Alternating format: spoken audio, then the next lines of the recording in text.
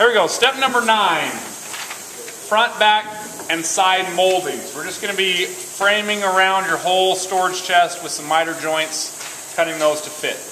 I've already done numbers one through six on your blue paper.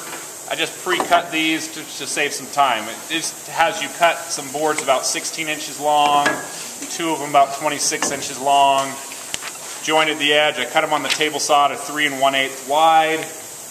Uh, we have planed them on the planer down to 3 fourths of an inch thick. So all that stuff you guys know how to do, so I just went ahead and just pre-cut those to that point. So now we're looking on number 7 on your blue paper, and, and follow along with me please. It says mark the best face of each board with an X. And again, the reason why we're doing this is we're choosing which face we want people to see because one of the faces is going to be against the project, you're not going to see it. And it's up to you on that. Just quickly just say, I like that one the best. Put an X on whatever face you think looks the best. It's all, you know, we all care about looks. That's the most important, right? The most important thing is looks. Be picky. What do you like the best? Don't settle for something ugly. All right. Okay. Next, it says use the router with the 45 degree chamfer bit to route both edges of each board and have the face with the X down here has a 45 degree chamfer. It's just a, a 45 degree angle all it's cutting. And just want your X facing down. We're just going to run both edges. Remember the edge of your board is the long part right here, not the end. So don't do the end grain. We're just doing the edge of the board. I've had some people mess up and do the end grain. So just do the edges only. X down.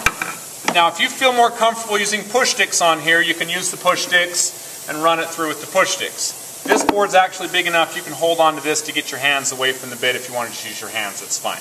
We'll turn it on, go the way the arrows tell us, both edges.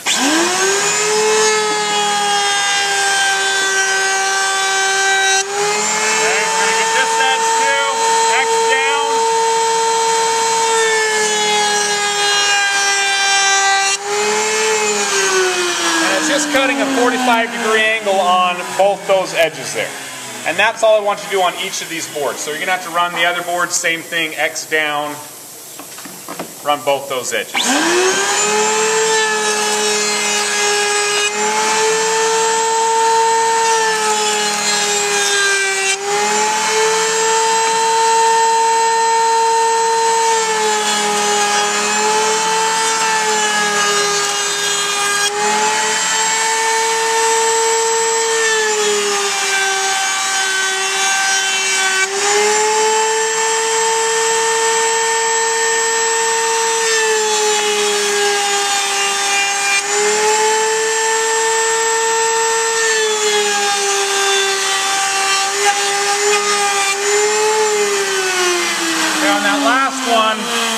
away from the fence a little bit, and you can see it started to cut, and then it kind of did a little part where it didn't cut very clean.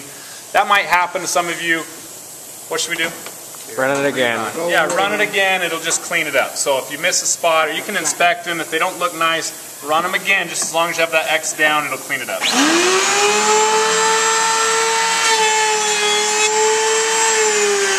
That'll clean that nice up so it doesn't have any of those bumps. So Look on yours after you run. If there's any spot you need to rerun something, go ahead and do that.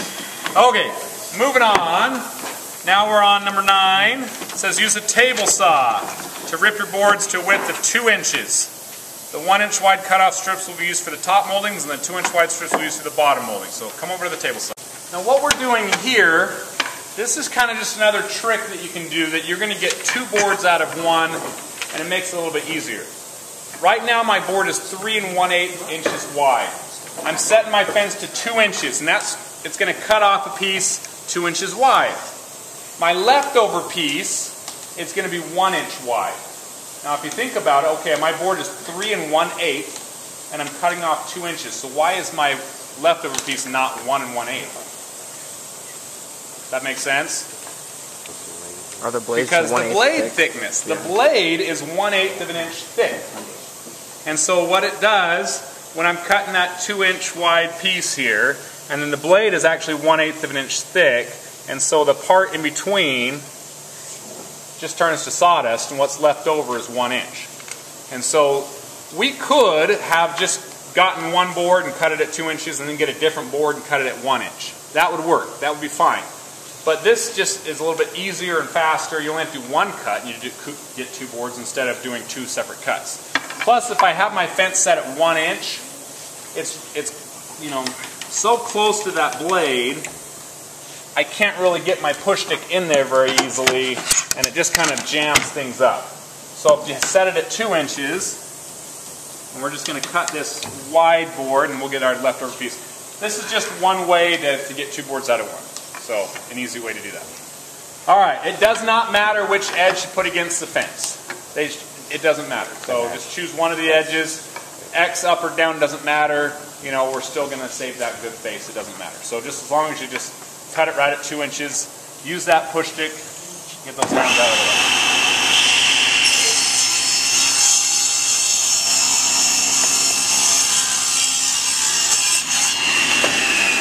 So the, the board that gets cut off, you want to save it. Don't throw this away in the garbage. So there's my two inch wide, and the other one is a one inch wide piece that just gets cut off. So that'll be on the bottom, and this one will be on the top of my storage chest. So save both pieces when you cut them. Okay, we're going to do that quickly on the other ones. We just got it set at two inches. We're going to cut it two inch wide, and then we're going to save the one inch wide scrap piece that gets cut off.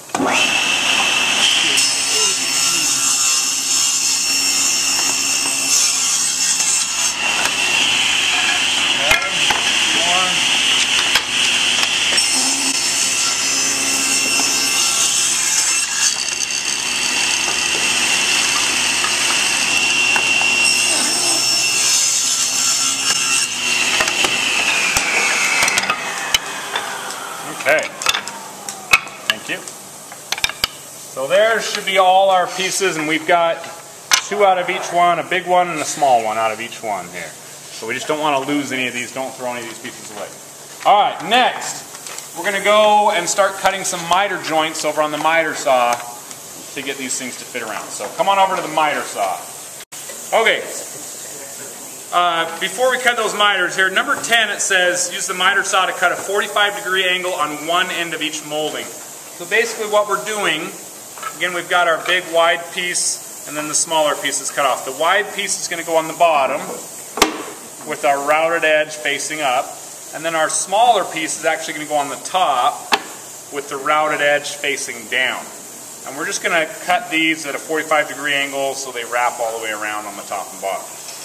I found it's easiest to cut one angle first and then we'll match it up here and then we'll cut our second angle. I've had some people try to just mark both angles at first and then go to cut both angles, and most of the time they end up cutting it too short. So what I would recommend is get your boards and line them up where they need to be around your project. You can just kind of place them on here close. And then we're going to mark the direction that you're cutting this 45 degree angle. Okay, so get it kind of close up here, the top view. We want to make sure our angle is cut the correct angle do we cut this way or do we cut this way on our angle? And it, and it matters. And the way you want to go is the same way that you see your little lock miter here. Your lock miter angle is coming from the inside out to the corner. So we're going to make this 45 degree angle from the inside out to the corner. And I want you to just draw a line at about 45 degrees saying which direction to go. You're not drawing where you're cutting, you're just drawing the direction that you're turning the blade. And you may want to do that on the other side too. I'm not marking where I'm cutting, I'm just saying, okay, this one's going out the other direction. I'm coming out this way. So I need to do that same direction here. And notice I'm not even going on my corner. I'm just coming out here. Just saying, cut the angle that direction, 45 degrees. And you can quickly do that on all your boards. Just mark an angle out 45 degrees about on each of your boards here. So you know where, not where, but which direction we're cutting. All right, and it says just cut one angle. So come over to the miter saw. We need to go at 45 degrees. Okay, I'll use this one, it's fine. 45 degrees, and it matters which way you turn the angle. If you notice when I'm cutting this, I'm tipping my board up against the fence. You're not laying it flat. Don't do it that way. We're going to angle it upwards so we can cut that angle the way we drew. On this particular one, there's a little trigger underneath, and you can pivot this saw. Is that the right way? No. No, I need to go the other way, right? So go, and then they'll click in at 45. I still want you to lock that down just to guarantee it's not going to move on you.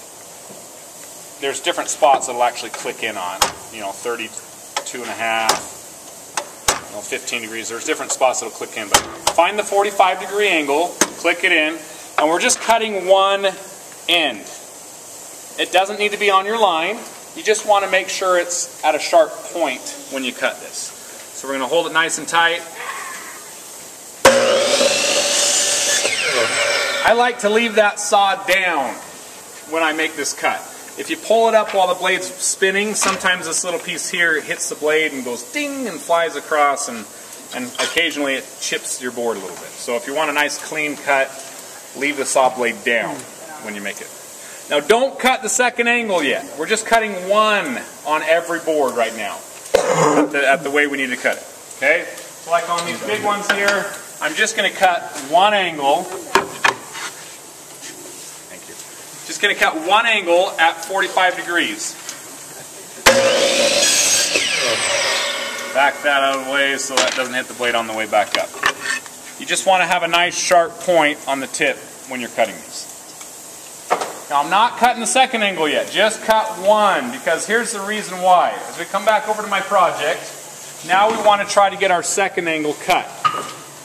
Don't just guess. Here's what I want you to do. It's an easy way to do this. You're going to line up the one angle that you just cut with the edge of your board on your project and you want the heel, the heel is this part and then the toe is the point, but the heel needs to line up right on the edge of your project. And an easy way to make sure that's going to line up is take another one that you've cut at 45 degrees and place it next to it and where they meet together you're going to be able to pinch those together nice and tight. Now we can move this one out of the way. We know that one's lined up where it needs to be. Some people just mark the top over here where it needs to be cut. Now that could work, but again, it's, it's hard to get it perfect like that. An easy way is you're going to mark the back side over here right where it hits on the side of your project. And I just draw a line straight up and down right on the back side. Okay?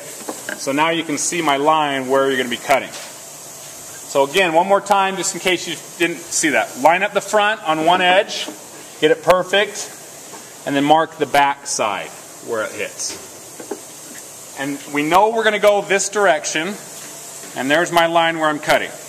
And this will be an easy, accurate way to get these perfect so you don't have to start over and, and cut them too short. So when we cut the second angle now, we're coming to the miter saw again. We need to have it at 45 degrees.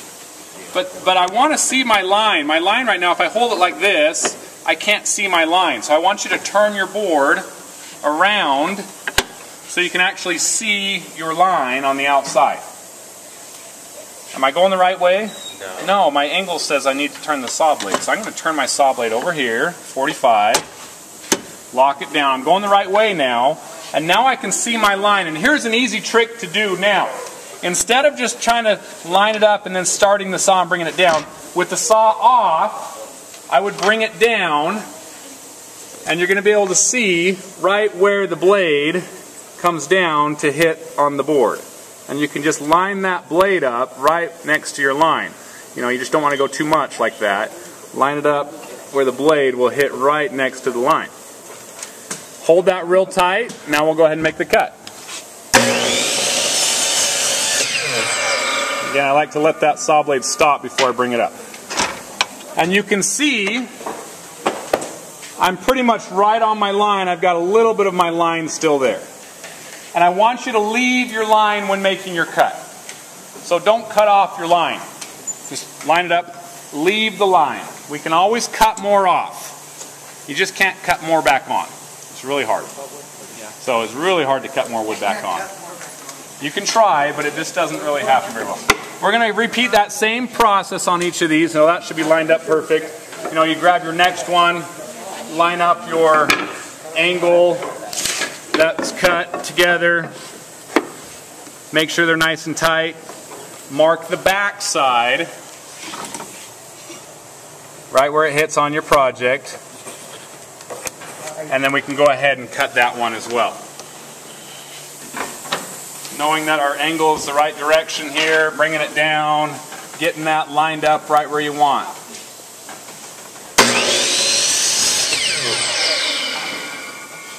Now here's another little trick you can do. So a trick you can do to cut off the tiniest little bit. Because some people, they put their board up there and they try to get it lined up and they try to cut it and they always end up cutting way too much off when you're trying to take off just the tiniest little bit. So a trick you can do is get your board out of the way, bring the blade down, I'm on this side over here. So bring the blade all the way down with it off, take your board and bump it into the side of the blade. You guys hear that? Hit the side of the blade, hold your board really, really tight so it's not going to move, lift the blade up, make a cut. It takes off just a sliver, just the tiniest little bit. Now you can see I'm closer to my line. I don't really have a big gap between my heel and the, the line drum. So that's another trick you can do. Bring the blade down, bump it into the side of the blade, and then bring it back up and cut it. And it'll just take off the tiniest little bit. And that should be enough that we can get these lined up right where they're at, and they're perfect on that side now. We continue the process all the way around and go ahead and cut all your moldings. When you do your, so that's the bottom moldings. When you do your top ones, the smaller ones, it's the same exact process.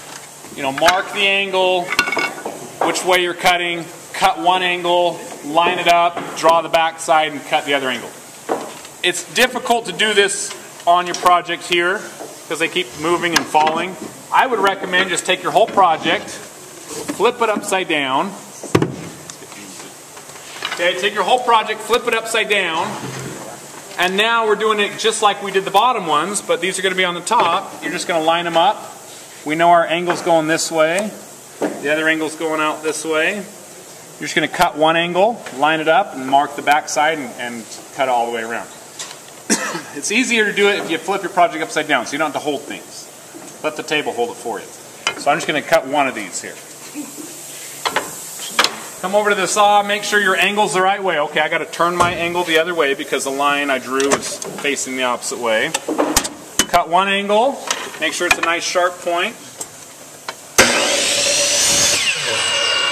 Let that blade stop before you bring it back up. This little tiny piece sometimes gets hit, and so now we're to mark where it hits, lining it up,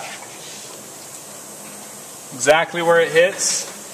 And come over to the back side, mark the line on the back.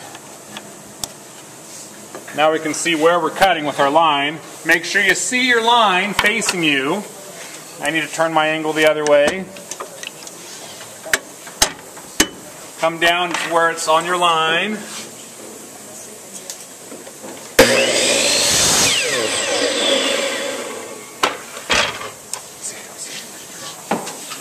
And then again, you can see just barely a little bit of my line still remaining. Now I make this look easy. When it's your turn to do this and get them all cut, it's a little bit more difficult than what I just show you here. So I would recommend cut it big because we can always take more off. You just can't cut more back on, like I said. We got them all cut making sure everything's going to fit. And if you need to, have someone help hold things into place and make sure things are lining up with no gaps. Okay. Uh, when you're gluing this, you don't need glue on the entire face of the board because part of it's, there's a little gap underneath, so just put the glue on the face that's going to be touching the board. Spread it around everywhere, and when you're pinning this with the pin nailer, it's got to be held real tight. You don't want to have any gaps, things like that. Spread it around. Again, I probably don't need it have on the very bottom because that's going to have a gap underneath there, so just where the glue is going to hit. You also want to make sure you get some on the miters when you go to attach the other boards with the miter. So I'm going to put some on the miter as well.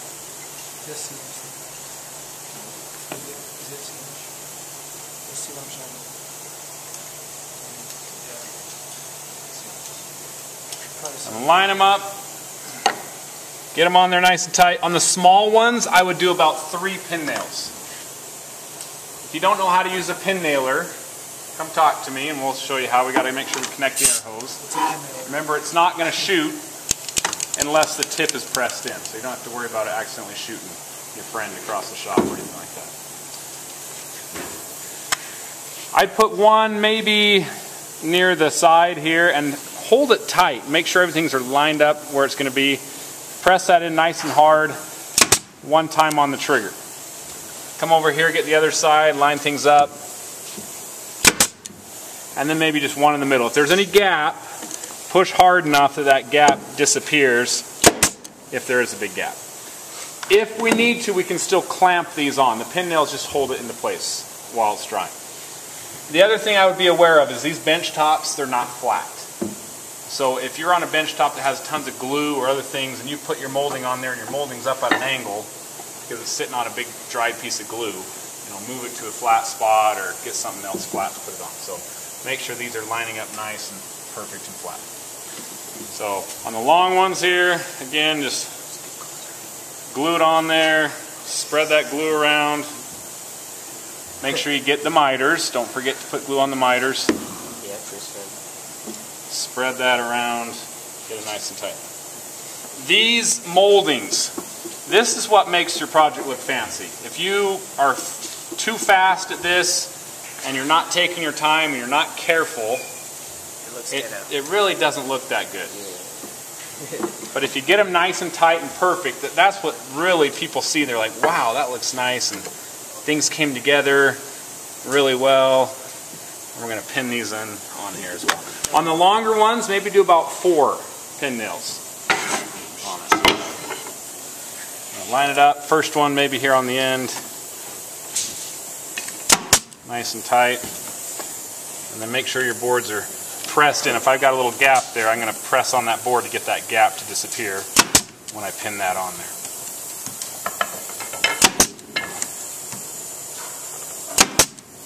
Okay, then we're just kind of work your way around and pin them on. I can do this next big one here, next, and we'll finish up the small one.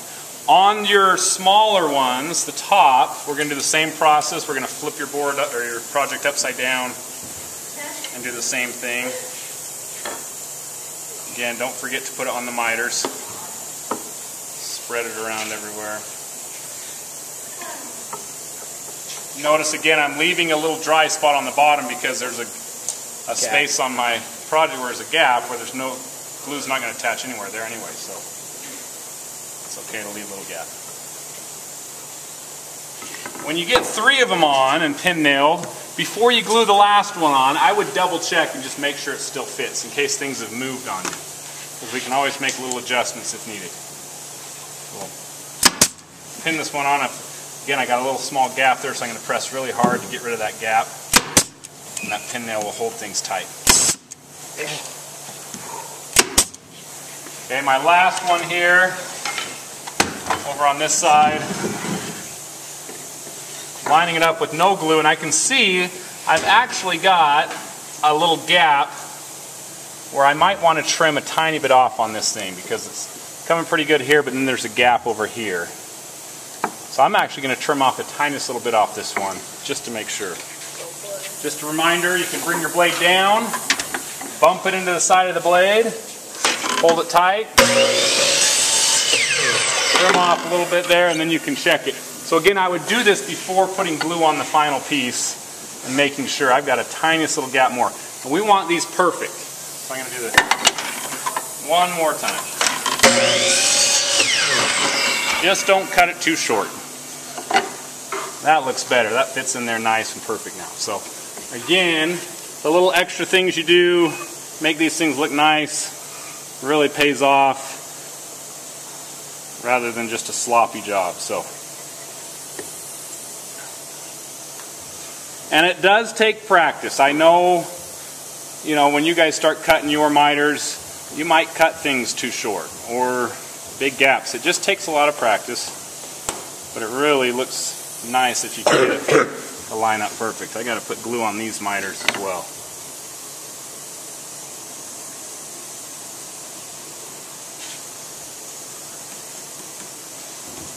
Okay. Line that up. We'll pin it on there. Now we could just clamp this. If you wanted to not use the pin nailer, you could just glue and clamp it. Nice thing about the pin nails is it holds things in place for you. You don't have to wait the 30 minutes before removing anything because the, the pin nails basically act like clamps. So those are going to be on there. We can wipe up any wet glue. Again, the top ones, same process. The only difference on the top, I'm going to flip this upside down, is we're not putting these on directly flush with the, the top edge. It has you use a spacer board. I've got these, they're in the tool cabinet, they're just an eighth inch thick board. And I want you to put the spacer boards down first, around the top. You just surround them. That way when you go to do your small ones, they actually lift off the ground an eighth of an inch. And the reason for this is when we put the lid on, your lid's going to have a little lip on it that catches on this little space. So when these one, these spacer boards will just lift them off the ground the amount that we need. And then we'll glue and pin nail these on the same way. So glue them, pin them, should be good. Okay, once you get them all on, you'll get my signature. Don't forget, you can always cut more off, but you can't cut more back on. So cut them big your first time. Thank you guys.